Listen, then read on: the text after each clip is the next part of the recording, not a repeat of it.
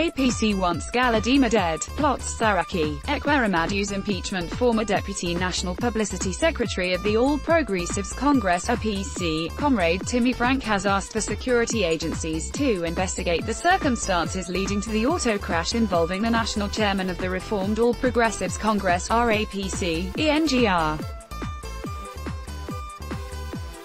Buba Galadima and his son on Monday. Frank also alleged that the recent development had shown that the party in power is desperate to remove Senate President Bukola Saraki and his deputy Ekweremadu, hence the misuse of police against the two. He added that as part of efforts to impeach the duo of Senate President and his deputy, armed security personnel have taken over the National Assembly as early as 6 a.m. on Tuesday morning to prevent lawmakers from doing their lawful duties. While calling on Nigerians to join well-wishers in praying for quick recovery of RAPC leader and others, Frank alleged that the accident was a handiwork of demonic forces in their former party, APC, who wanted Buba Galadima dead. In a statement he signed on Tuesday in Abuja, Frank said since the RAPC, through its national chairman Galadima made its grievances known to the ruling party and the clear indication of pulling out in few days, the APC blood-sucking demons have been deployed to fight our leaders at all cost.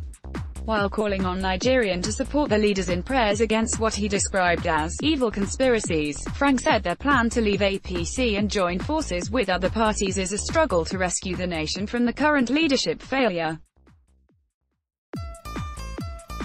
According to him, it is obvious at the moment that if anything bad happened to Buba Galadima or any other leaders of RAPC, the ruling party will be held responsible.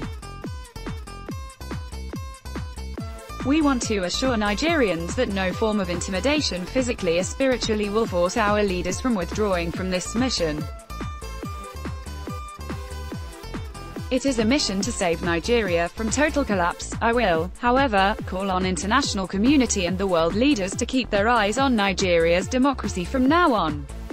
We know that the ruling party will do everything possible to suppress the voices of reasoning but Nigerians should be rest assured that the more they try, the more our voices will get louder until the nation is rescued, Frank stated.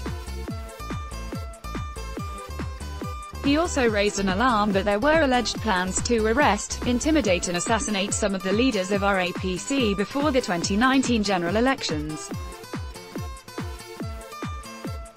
So, we are praying that God should keep ENGR.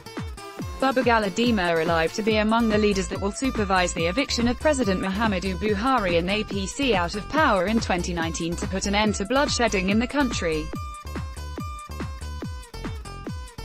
I will also call on all true religious leaders to ask God to strengthen the leaders of RAPC and the voting population in their quest to see a better country. Think your friend would be INTRESTED.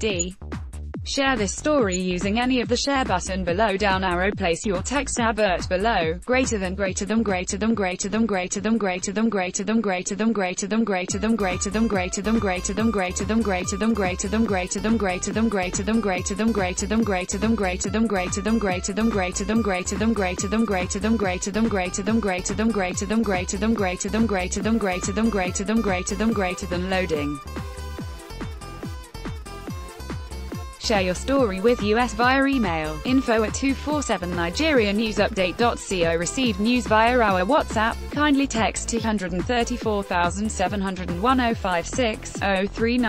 to add you. Click here to join us on our YouTube channel for news update. Click here to join us on Twitter for instant news update, at 247NGNEWSUPDAT. Click here to join millions around the globe to read news on our Facebook fan page for instant updates on Instagram. Click here receive instant news update via our BBM broadcast D3DEFDF.